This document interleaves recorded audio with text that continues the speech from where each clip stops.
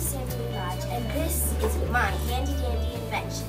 This is Huggy, the first poor pal I was ever made. A poor pal is basically a teddy that's filled with necessity items that streets and don't have it, really have anything to eat or any or necessity necessity in life Me.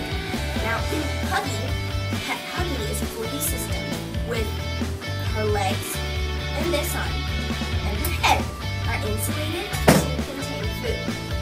Leg contains ski hat, socks, and gloves.